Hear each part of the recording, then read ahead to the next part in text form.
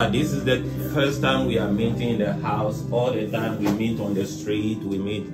After that, we go to restaurant to eat. But this time, he has done what an apostles do. He has decided enough of meeting on the streets and in restaurant. So he's visiting every one of us in our homes Amen. to get to know us more, which is very impressive. In fact, this has touched my heart so much. I'm not the only person he has visited at home. He's visited others at home one on one with them. So we are privileged. From here, he's they are going back on the street tonight to evangelize unto God who asked them to go home. And before he goes, I want him to say a word or two. And we ask for your prayers. You see, the method we are using might be orthodox to you. It might not sound timely. It might not look the way you expect it. But our God knows what He's doing. Amen. And God doesn't repeat methods. He's an amazing God. Even Jesus Yes. didn't use the same method in healing. So even though you may not understand how God is using us, please hmm. pray with us and don't condemn the way God is using us. It might not be familiar with you, it might be a new thing, but that's what our God does. Amen. He said, Behold, I do a new thing. Amen. Forget the former things. Can't you see? Amen. So pray with us that God will keep all of us usable and deliver us from the hands of the devil and every work of the devil so that nations will hear the gospel. So my brother will share briefly with you before they go on the street and we are asking for your prayers to be with them while they're on the street preaching. Praise the mighty name of the Lord. It's great to be here with Pastor Ebenezer in his house with his wonderful family and to be sharing a, an amazing fellowship meal. And, um, you know, I don't know what might be in your mind in regards to how we serve the Lord or um, evangelize. And sometimes it might look strange. Some of you might be thinking we're we're causing a disturbance. Maybe you're thinking eh, what we're doing is not effective. We're scaring people away. But the way I see it is like the Apostle Paul uh, sees it. Um, Christ is being preached. And when Christ is being preached, the word of the Lord will never go void. And I've seen in my own walk the power of just obeying the word of the Lord by being fishers of men. And you have to understand that there are different type of fish. There's there's octopus, there's there's uh, trout, there's salmon fish, there's tilapia fish, there's sharks. Every fish has its own bait, and every fish ha- fish has its own uh, strength that you need to uh, put out for that fish to come into the boat. We're living in a generation that I would liken the people not to not to salamanders, not to uh, minnows, not to easy fish that you could just put a put a net and they all just come into the boat. The types of fish we're dealing with are sharks. We're dealing with uh, fish that are stubborn, that that you have to come with a harpoon. You have to come with a very strong hook, and you have to have a lot of muscles to pull pull them in. And if what I'm saying is not true, then why is it that we're losing the generation? We have churches. We have the old ways of doing it, the tent meetings, the big buildings, the the the different types of worship teams and everything that has been done, but we're losing the people. Um, so, what is it? It's because the generation has changed. We're living in a generation that it's going to take more effort. It's going to take genuine love. People that are willing, like Jesus said, go into the highways and the byways and bid them come. Even the uh, one of the apostles. You know the root word of that bid is like persuading. Persuade. And it's just the, the same way, you know, when the angels went to rescue Lot's family, look at how they did. This is a family so stuck in the world they didn't want to. And God desperately. So the Bible, if you look at the scene, the word of God says that one angel grabbed two of the children and the other one grabbed Lot and the wife, they actually dragged them out of Sodom to save them. So the methods, the way God saved Lot and the family is different the way God saved Noah. That's right. So there is no right and wrong way of doing No. it. It's just dispensational change, and we have to go with the Holy Spirit. That's right. That's right. And and I'm not against any evangelism style, and neither should you be. You may not understand it. You may not do it this way.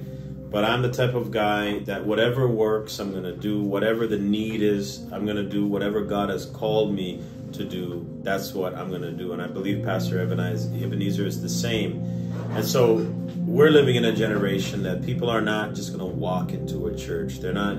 There's so many. Uh, voices and, and religions and everything pulling them in every direction. The family's structures change. The, the educational system has changed.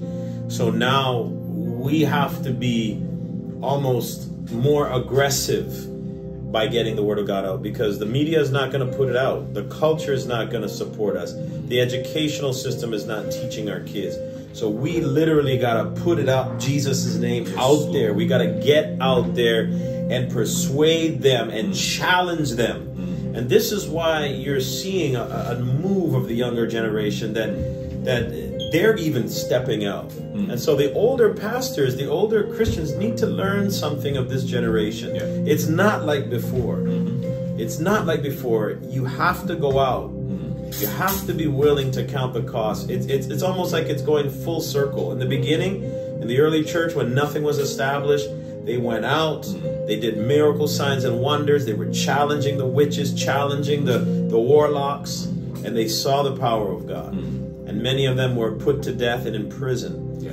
Now there was a period where Christianity was uh, a foundation where where people you, you know the the church structure, the education was all pro-Christian. But it's gone the other way. We're going it's almost like we're going back to the beginning.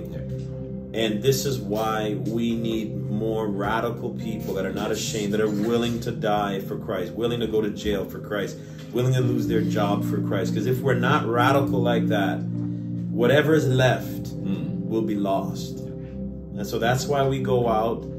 Don't criticize. If you don't understand it, pray. Mm, yeah. Pray. Pray for us. Pray. And if you think you can do it better, then please do it better. Show us how it's done. Come on out and teach us. But I believe we're doing something right, and I believe that you should uh, support and get on board with what the Lord is doing in this generation. You know, we were in Wales, and after preaching, Pastor Gordon and a couple of myself, we went to buy ice cream at a big front in Wales. And this woman said, I know you guys. And I said, wait a minute. And she said, You are you were my neighbor from Baki. God. And she mentioned that dress. And the son came and said, Are you not the one who stands in, in front of Barking station and preaches? Wow. all the way in Wales. You see, what Pastor David is saying, all that matters is for somebody to hear the gospel. Amen. Do you know there was somebody who actually called me by messenger and said, I'm in India now and I'm sitting with friends watching you, people harassing you. And I told them I knew you, I don't know you personally, but I said, I knew you from Stratford, you preach at Stratford, and what is happening is happening at Stratford. And they didn't believe me. Please, can you speak to them? Am I lying or not? I said, You are not lying. He said, So I said, Why are you in, in India? He said, I came to school in the UK, I did medicine, and I've gone back. So she's been watching us from India, but I didn't ask her if she has given her life to Jesus. So, beloved, God is doing a new thing. And most of the time, when God is doing a new thing, we don't understand. But be like Gamaliel. Gamaliel told the people, let us stop punishing these guys and beating them and threatening them. Because if what they are doing is of God, no one can stop it. We will end up fighting against God. So, what you knew before, it might not be what God is doing now. Let's go along with it. At the end of the day, it's not about any man, it's about saving of souls. Yes. We may not have them in church, but they have heard the gospel at least once, Amen. and that's most important. Amen. This evening, I'm at home babysitting, but my brothers are going on the field tonight. I don't know what time they're going to leave the street, but they're going to the city of London tonight to preach. So you out there, I want you to bow down your head with us. And we will receive a prayer from all of you. Pray for us that God will keep us usable, that souls will be saved. As my brother leads in prayer, stretch your hands wherever you are towards us and pray for us that God will use us mightily. UK needs revival. I don't know what country you live in. Like this country needs revival. And God is choosing people to use. If you are not one of those people, at least stand with those who are at the war front. You don't have to be at the war front. Joshua was at the war front. Moses was sitting there. Yes. But he had Hur and another brother lifting his hand so that the war can be won. Maybe you'll be the one lifting up your hands for us whilst we're on the battlefield. It's about souls. It's not about any one of us. Pastor David, pray for us. Well, Father God, thank you, Lord, for uh, Pastor Ebenezer's wife, his wonderful children, his home. Bless them, Father God. Bless them abundantly. Bless them uh, more than they can even ha- hold, oh God. Let it overflow in their ministry, Lord, in the people around them, Father God, that even their words, not only would they have more than enough, but Lord, they would have enough to feed everybody that comes in their path, Father God. Thank you, Lord, for those that are watching right now and listening, Father God. I pray a blessing over them. I thank you, Lord, for your goodness and your mercy, for your power that brought us to this room, brought us to this time, that we can all partner together in prayer and come before you, Lord. It is a privilege and an honor, Lord, to be a priest in your presence, to praise your mighty name, and to intercede on behalf of your kingdom and your will. So, Father, let your will be done tonight, oh Father God. We pray for those souls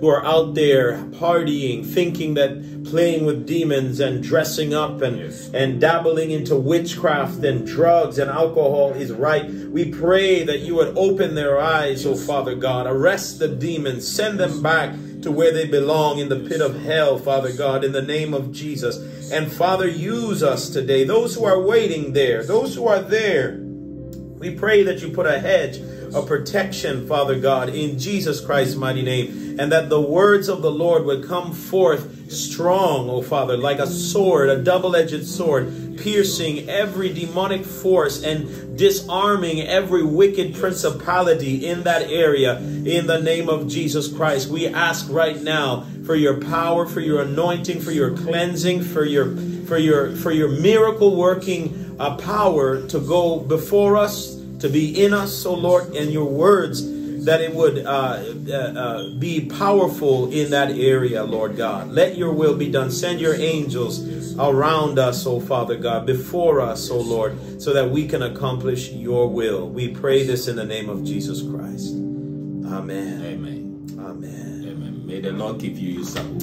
Amen. In Jesus' name. Amen. Bless you. Thank you, man of God. Thank you. We will definitely be on the street together before you. Amen. Bless you. okay, praise the Lord, everybody. Bless you all. Amen. Thank you. Thank you so much. Thank you so much. Okay, well, we have to run.